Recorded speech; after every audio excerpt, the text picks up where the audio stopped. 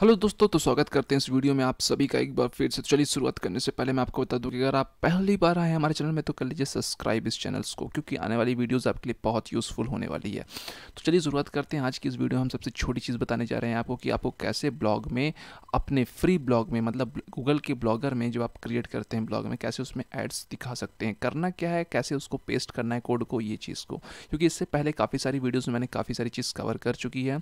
ये मेरा जो वीडियो इसमें बेसिक चीज़ इसलिए रख रहा हूँ, क्योंकि काफ़ी लोगों ने मेरे को कमेंट्स किया कि हमको ये जानना है कि एक्चुअली कैसे हमको पेस्ट करते हैं, कैसे शो करते हैं। तो मैं आपको बता दूँ, यहाँ पे आपको पॉपअप एड्स में जाना है। इसके बारे में भी मैंने काफ़ी सारी वीडियोज़ बना के रखी है। पहले आप वॉच कर सकते हैं मेरे चैनल पर जाकर।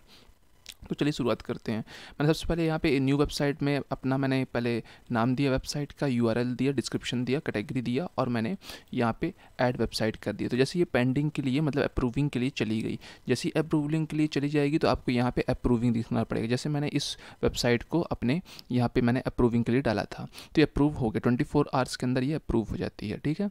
जैसे अप्रूव हो गई, अब आपको करना कुछ नहीं है। सिंपल सा किराना इसमें क्लिक करना है इस लिंक में और उस टाइम जब आप अप्रूविंग के लिए जब सेंड करते हैं, उस टाइम ये गेट कोड की बटन यहाँ पे नहीं शो करेगी बट अब कर रही है क्योंकि अप्रूव हो चुका है। गेट कोड के लिए आप यहाँ पे ओके कीजिए। जैसे आप गेट कोड क्लिक करेंगे तो आप यहाँ पे देखेंगे कि यहाँ पे जनरेट कोड का ऑप्शन आएगा।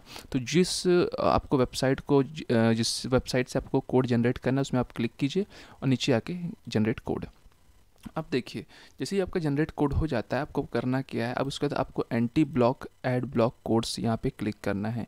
एंटी जो एड ब्लॉक्स कोड है, यहाँ पे आपको पूरा कॉपी करना है इसको और कंट्रोल प्लस सी दबाना है। अब ये कॉपी हो गया, ठीक है?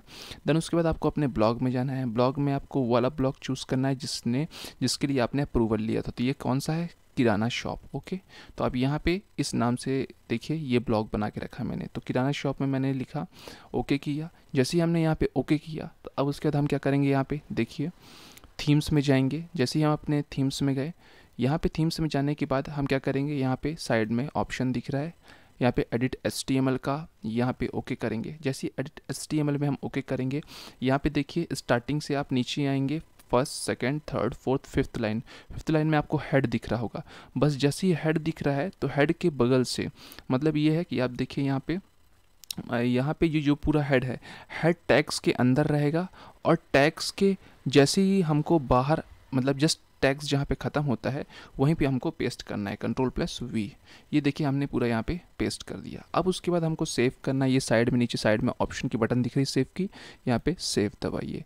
जैसे ही आप देख रहे हैं यहाँ पे प्रोसेसिंग हो रहा है, अभी प्रोसेसिंग की जगह, ये देखिए अपडेट सक्सेसफुली लिख गया, अभी आपका सक्सेसफुली अपडेट हो गया। अब आपको करना क्या है, कुछ नहीं बैक कर देना है आपको। सिंपल सा अपने आपको किराना शॉप यहाँ पर दिख रहा है, यहाँ पर जाना है, और ये आपका अब एक तरह से काम करने लगा। अब आपको पता करना है कि काम कर रहा है कि नहीं करना है कर रहा है उसके लिए आपको किसमें जाना है? टर्बो शूट में जाना है। ये टर्बो शूट है।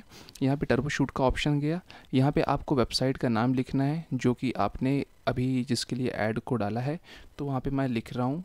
वहाँ पे वेबसाइट का नाम लिख रहा हूँ कि जिस वेबसाइट्स को मैंने ये देखिए ये, ये जो यही है अपना पेज है इसी को अपने क्या करना है? मैंने इसकी लिंक कॉपी की ऊपर से जाके और इसी को मैंने यहाँ पे पेस्ट किया। अब चेक कर रहा हूँ कि सही से काम कर रही है कि नहीं।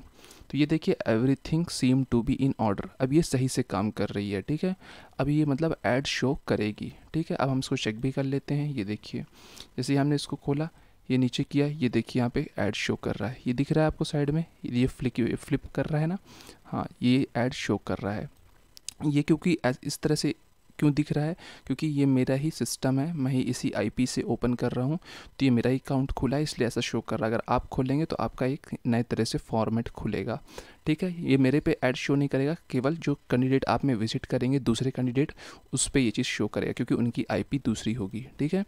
तो आपको ये चीज़ समझ में आई? ये वीडियो यहाँ पे मैंने काफ़ी सारी चीज़ इसमें कंप्लीट कर दी, ताकि आपको अच्छी तरह से समझ में आ जाए। ठीक है?